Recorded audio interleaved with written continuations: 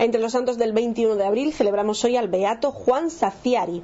Nació alrededor del año 1327. Llevó una vida simple, dividiendo su tiempo entre el trabajo, en el campo y la oración. Una vida sencilla.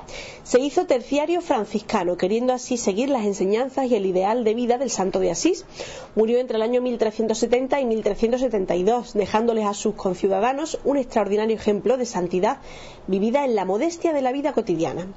Se dice que por su mediación fueron muchas las personas que vivieron verdaderos milagros gracias a su intercesión. Estos tuvieron lugar enseguida de su muerte y su memoria fue transmitida a través de inscripciones en la lápida sepulcral. Sobre todo se acuerdan de su intercesión durante una terrible peste. un notario de Imola en 1374 registró oficialmente algunos milagros. Y en un antiguo documento de 1441 ya era llamado Beato. Juan fue enterrado en la iglesia de San Francisco, la más antigua de la orden franciscana en la región de Marcas, provincia de Piceno.